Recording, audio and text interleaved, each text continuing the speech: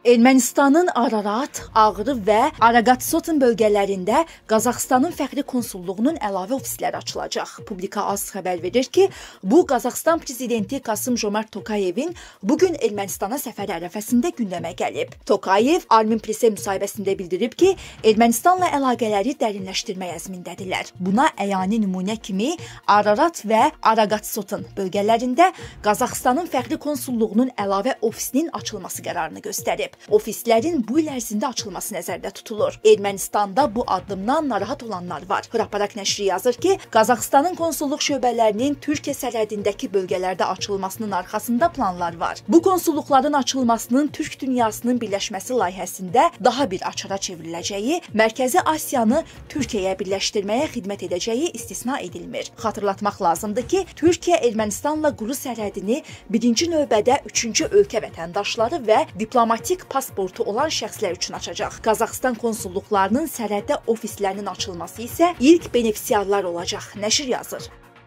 Videomuzu bəyəndinizsə kanala abunə olmağı və videonu bəyənməyi unutmayın.